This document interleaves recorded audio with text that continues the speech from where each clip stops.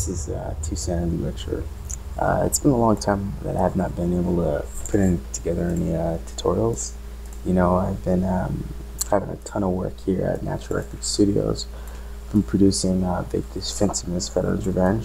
Um, put together a lot of cinematics, you know, uh, some next gen virtual reality, uh, character work. It's just been a ton of work at the studio. I wasn't able to get on and, you know, uh, creating tutorials for you guys, but I'm free today and uh, put together um, an awesome vehicle there.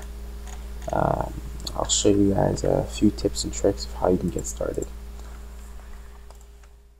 So what we're basically going to do is we have a fresh model here, pretty good model, uh, the McLaren. I was actually working on this side, the, uh, the wheels already earlier. I'll just um, design it over here to show you exactly what I did on this side for that effect.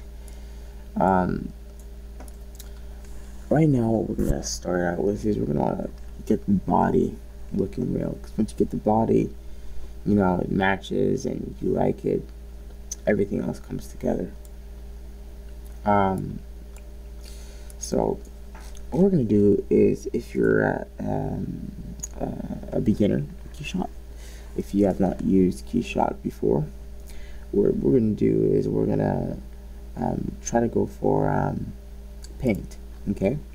So you go in paint and you're going to see all kinds of materials there that you're going to want to use and just drag in and drop right? Some materials won't complement your car. Some will. And to me the best material that you could pick right now is in this section the silver materials the metallic dark gray you know these are the materials that will complement your your work that you're that you're going to produce. Um, let's put that in the test. Let's put the test right now and um, show you what it's like.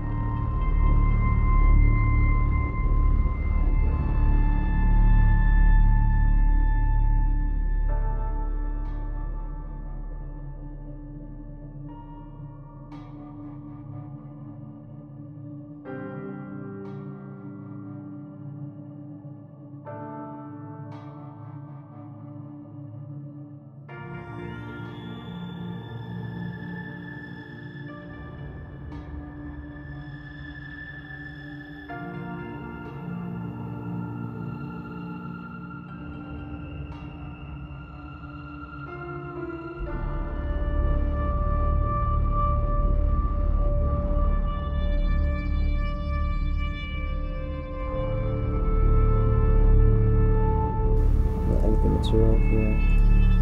I'm gonna turn this orange. Um, there.